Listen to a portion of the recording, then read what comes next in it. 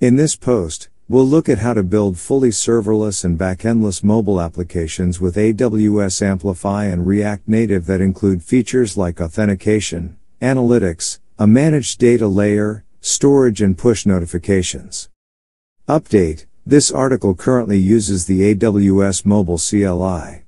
The AWS Mobile CLI will be deprecated in the future. The preferred way is to use the Amplify CLI. The commands are similar as well as the configurations. See the documentation here for any questions. When building a real-world mobile application there are a ton of essential basic requirements.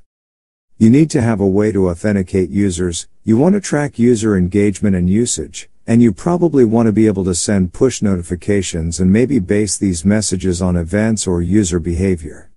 Then you have to manage your application data and are probably dealing with multiple REST endpoints. You're also usually dealing with media such as images and videos and you hopefully want to be able to handle offline use cases so that the app continues to work whether or not they are online. More and more developers and companies are adopting and taking advantage of managed services in order to lessen their dependence on building and maintaining their own infrastructure and having to create this functionality from scratch lowering the cost and decreasing the complexity of their back-end development infrastructure in the process. It's now even possible for a single developer without a lot of traditional back-end experience to be able to build and ship a fully featured application by taking advantage of these managed back-end services, bringing about what I consider the next revolution of architecture that will dominate in the future, back-end-less application development. Some of the more popular existing use cases that come to mind are push notification services, authentication providers, and analytics services. There are now also services like AWS AppSync that offer completely managed data layers so you can also offload the complexity and work of building and maintaining your backend and API to a managed service with a single GraphQL endpoint. In this post, We'll look at how to leverage the AWS Mobile CLI to quickly spin up these types of services and add new this new functionality to your React Native application using the AWS Amplify JavaScript SDK. The AWS Amplify JavaScript SDK was created to provide a unified API across many of AWS services and managed services. There is first-class support for JavaScript frameworks like React Native, React, and Angular.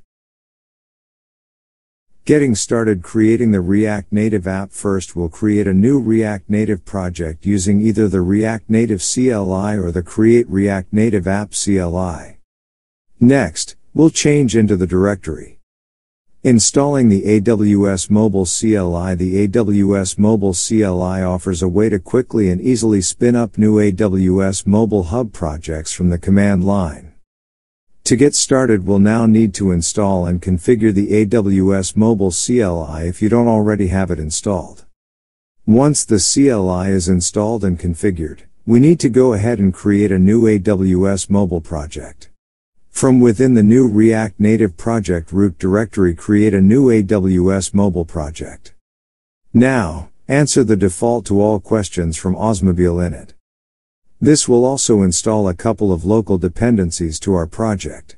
You should now see AWS Amplify and AWS Amplify React Native in your package.json. Finally, we need to link NOS Amplify native dependency. We now have a new mobile hub project created in our AWS dashboard. You can view the project and configuration at any time by running awsmobile console from the root of the React Native directory. Configuring the React Native app with your new AWS Mobile Hub project. Now that the Mobile Hub project has been created and the dependencies are all installed, we can configure the React Native project to recognize our configuration. In index.js, let's add the following lines of code. User sign up and sign in. The first thing we'll do is look at how we can add user sign up and sign in. To do so we'll need to enable it in our mobile hub project. User sign up and sign in. The first thing we'll do is look at how we can add user sign up and sign in. To do so we'll need to enable it in our mobile hub project. Now user sign up and sign in is enabled through Amazon Cognito and we can immediately start signing users up and in. If we look at the docs we'll notice that there are two distinct ways to do this. 1. We can use the React components and higher order components for pre-configured functionality in UI. 2. We can write this functionality from scratch using the auth class which contains methods like auth.signup and auth.sign.in. React Native Components Let's first check out how to use the with Authenticator HOC from AWS Amplify React Native. In app.js, below the React Native imports let's import the with Authenticator HOC.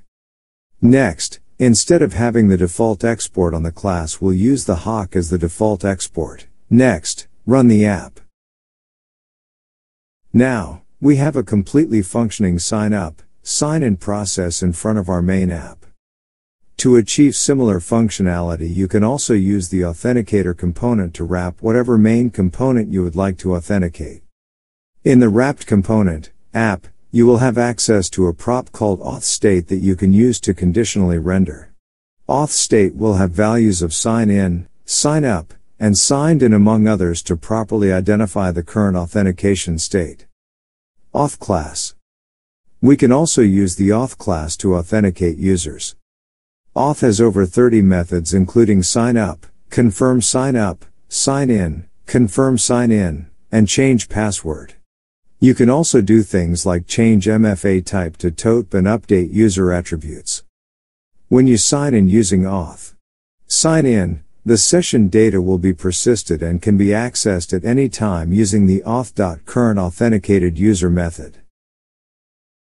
Once you have signed in new users, you can view the configuration in AWS Mobile Hub or go to https console.aws.amazon.com cognito and view the users and Amazon Cognito configuration for the app. To view your current project configurations you can always type in. Then click on Resources in the top right corner, and click on the resource you would like to view. awsmobile Console Analytics Analytics events can be tracked using the Analytics class. We can also call events with more detailed attributes.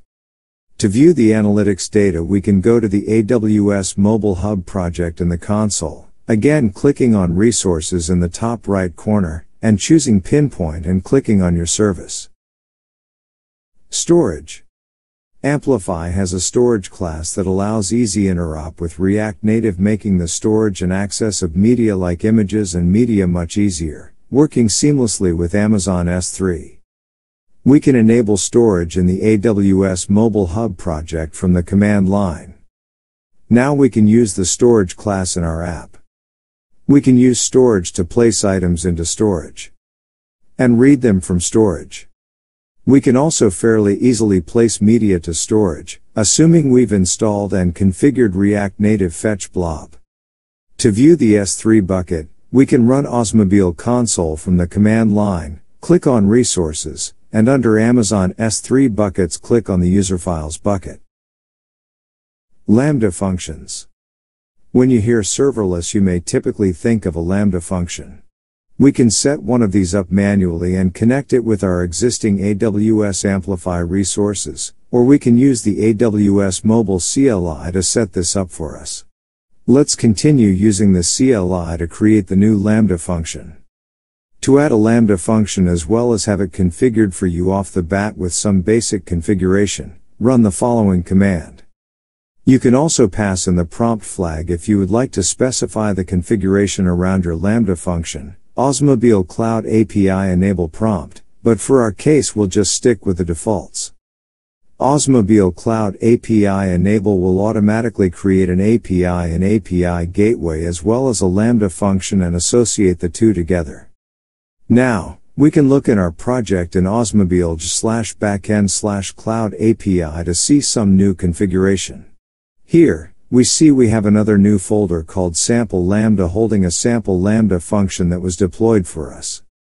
The lambda function that was created for us is using the AWS Serverless Express package to spin up an Express server with some pre-configured endpoints.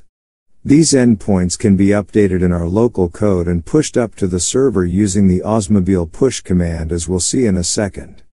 We can also add new endpoints by configuring our local code as well as the Cloud Logic configuration in our AWS Mobile Hub project in the console. Let's update the app.get method on the slash items path in awsmobile slash backend slash cloud API slash sample. Lambda. Next we need to push this new API and configuration to our AWS Mobile Hub project. Now, We'll open the AWS Mobile Hub console to get the API name. Click on Cloud Logic and copy the API name, minus sample. Cloud. API. Now we can test out the Lambda function. In app.js, create a new component did mount lifecycle method. Managed API and data layer. AWS Amplify offers a GraphQL client that works with any GraphQL API. In our case, we'll be looking at AWS AppSync, which is a fully managed GraphQL service. With AWS AppSync, you can have a GraphQL API that interacts with any data source you would like. There are built-in data sources like Amazon DynamoDB, AWS Lambda function or Amazon Elasticsearch, and with a Lambda function you can access any service or database you would like seamlessly through the single API layer that is GraphQL in the form of your AppSync API. There are a couple of GraphQL clients that work with AWS AppSync. AWS Amplify has an API category that works seamlessly with any GraphQL API including AWS App Sync. We can enable AWS AppSync from the AWS Mobile CLI, but doing so will create an auto-generated schema and data source. Instead, we'll visit the console to create and manually configure a custom API and configuration from the console. In this example, we'll look at a basic Todo app. To get started, Visit https colon slash slash console.aws.amazon.com slash appsync and click on Create API. From here, give the API a name, choose Custom Schema, then click Create. Now the API has been created and we're given some information including the API URL and API key. Click Schema in the left menu and create a basic schema with a type and a query. Click Save then click the Create Resources button. Choose Defaults and click Create at the bottom of the screen. Create Resources will automatically provision a DynamoDB database, additional GraphQL schema for multiple operations including queries, mutations, and subscriptions, and resolvers that tie the GraphQL operations to the data source. Next, Click Queries in the left menu to test out a mutation and query to make sure everything is working properly. Now we can test out the API from our client-side application. First, we need to update our client-side configuration to identify our AppSync API. Create a new file called appsyncconfig.js in the root of the project. Next, where we configured the Amplify client, Let's update it to also recognize our AppSync configuration. Now, we can easily create and execute operations against the API using the API category and GraphQL operation helper from AWS Amplify. In app.js, let's add a query. Push notifications Push notifications are available for both Android and iOS in AWS Amplify. To enable the push notification service, you should go to the Pinpoint console by running awsmobile console and clicking on resources then under Amazon Pinpoint click the link to your service. The initial configuration for push notifications takes more time than any of the other services because we not only need to update some configuration for React Native, we also need to set up the actual services through Apple and Google. I've written an article with a video walking through the entire process of setting up an iOS project here. The setup for Android can be found here. Once your project is configured you can handle push notifications from with the app. Conclusion I am a developer advocate at AWS Mobile working with projects like AWS AppSync and AWS Amplify, and the founder of React Native Training. If you enjoyed this article, Please clap n number of times and share it. Thanks for your time.